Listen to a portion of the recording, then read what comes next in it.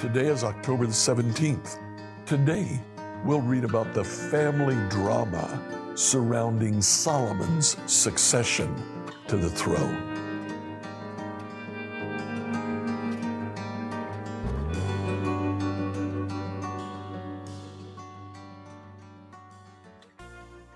Today, as we read through the Bible in a year, I'd like you to read 1 Kings chapters 1 to 5. Now, in chapter 1, we see that David was becoming very old.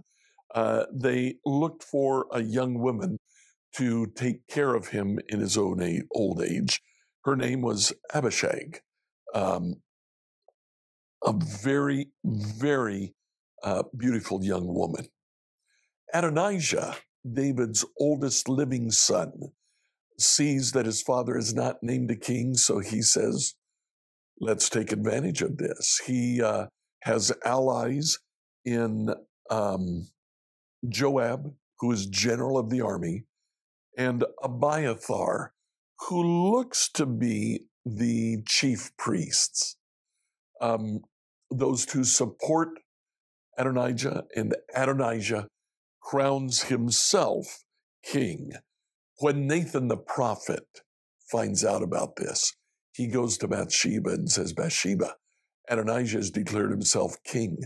The next step for Adonijah would be to kill you and to kill Solomon, his only adversary, his uh, the only other person who has a claim to the kingship. Well, Nathan and uh, Bathsheba go to David and uh, ask what David has done. When David finds out about it, he says, Oh no, I want Solomon to be king. Now, when Adonijah was uh, declared king, he had the two supporters, um, Joab and Abiathar. But there are five people listed who opposed Adonijah's crowning as king. Benaiah, who's the captain of David's personal bodyguard, one of the 30, and captain of the bodyguard. Shimei, Shimei was the man who cursed David when he fled from Saul. But when Saul was then killed in battle and David came back as king, Shimei approached David and said, uh, Please forgive me. David said, uh, Live here in Jerusalem. Rei, a man never named before and never named again, Zadok, one of the other priests, it's interesting that up to this point, Abiathar and Zadok are always named together. In fact, after this point, Abiathar and Zadok are always named together. But here they stand opposed to each other. Abiathar supporting Adonijah, Zadok supporting Solomon, and then Nathan, the prophet. They uh, anoint Solomon as king when Adonijah finds out that his father David has uh, passed the kingship to Solomon and had Solomon anointed as king. Adonijah comes to Solomon and says, Please swear that you won't kill me. And Solomon says, That's fine. If you behave yourself, I won't kill you. In chapter 2, David gives final instructions to Solomon before he dies. Now, he does the standard. He says, uh, uh, Be strong and courageous, obey the Lord, seek the Lord. But he also says, uh, This tribe of Gilead was kind to me when I fled from Saul. They hid me. Be kind to them. Solomon invited them into the palace and they became permanent guests at Solomon's table. But David also said, Joab and Shimei, um, these are two men who are evil men. He doesn't come right out and say kill them, but he does say for both of them, don't let them die of old age. you know what the alternative is. At the end of uh, chapter two, Solomon establishes his rule his brother Adonijah um, goes to Bathsheba and says, Bathsheba, Abishag, David's last wife, a young woman who actually never truly lay with David. She just cared for him in his old age. Um, have Solomon give her to me as my wife.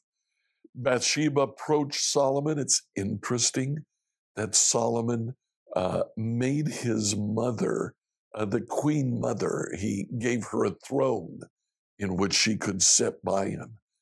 Bathsheba said Adonijah would like Abishag as a wife. Solomon said, Oh, that can't be. She was queen to my father. If he gets Abishag, then he has a claim to the kingdom. He has Benaiah go and kill Adonijah. Then Benaiah goes and kills Joab and uh, Shimei. Solomon had said to Shimei, as long as you stay in Jerusalem, you're safe. You leave Jerusalem, I, uh, I can't guarantee your safety. Well, after three or four years, Shimei leaves Jerusalem to take care of family business. And uh, when Solomon finds out about it, he has Benaiah kill Shimei too. Now, Shimei is mentioned apparently because he had a following. Adonijah certainly had a following. Um, these two threats are eliminated, and Solomon's rule is now established. In chapter 3, uh, Solomon has a vision. The Lord comes to him and says, Ask whatever you want. You're David's son. I'll give you whatever you want. Solomon says, I won't ask for, for uh, uh, gold. I won't ask for fame. Just give me wisdom so I can rule well. The Lord says, That's a great answer. I'm going to give you the wisdom and um, the wealth and the fame. And at the end of chapter three, we have the famous story that shows just how wise Solomon was. In chapter four, his courtly officials are named in chapters five and six. Solomon closes the deals to build the temple. We'll come back tomorrow and we'll talk more about the temple. Like, follow, and subscribe to this devotional on whatever platform you use to listen to it. Email your questions to us at questions at becomehope.com. Tomorrow, we'll see what happens when Solomon loses focus.